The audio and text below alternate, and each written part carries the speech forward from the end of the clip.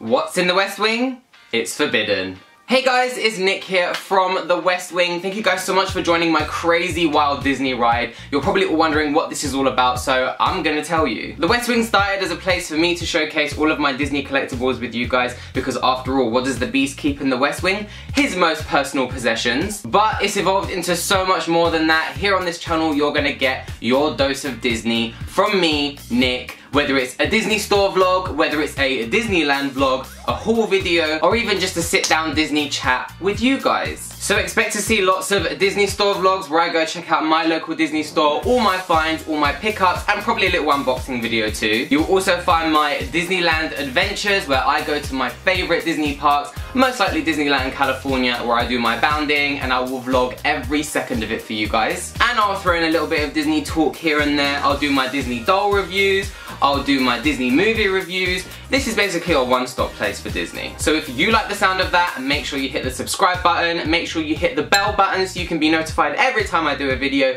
and just check me out on social media. I'm on Instagram, Facebook, I have my own website. Thank you guys so much for tuning in, and I will see you guys in my next video. Bye!